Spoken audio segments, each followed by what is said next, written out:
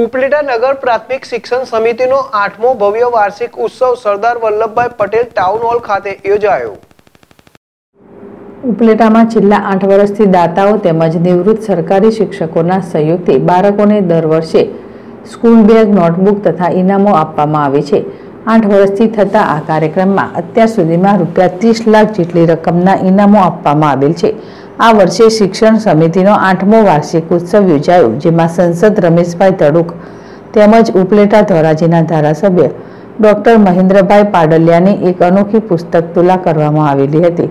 આ કાર્યક્રમમાં ઉપલેટા નગરપાલિકા સંચાલિત સરકારી સાત સ્કૂલોએ દસ આવૃત્તિઓ અલગ અલગ રીતે રજૂઆત કરવામાં આવી હતી, જેમાં દેશભક્તિ, ધાર્મિક અને સાંસ્કૃતિક જેવી આવૃત્તિઓ રજૂ કરવામાં આવી હતી, જેમાં સાત સ્કૂલોના બાળકોને kit, medal, cycle, cricket kit, tiffin, પ્રમાણપત્ર, સ્કૂલ બેગ, ફૂલસ્કેપ, નોટબુક તેમજ અન્ય ભેટ તેમજ શિલ્ડ મળી કુલ સાત લાખ રૂપિયાના ઇનામો આપવામાં આવેલ હતા.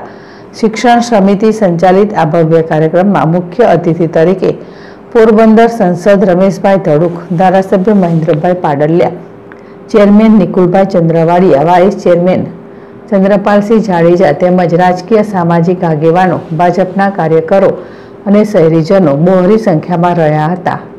આ વાર્ષિકોત્સવને સફળ બનાવવા નગર પ્રાથમિક શિક્ષણ સમિતિના ચેરમેન તથા તેની ટીમે જહેમત ઉઠાવી કાર્યક્રમને સુંદર અને રમણીય બનાવ્યો હતો. વિપુલ ધામેચા જેડેશ ટીવી ઉપલેટા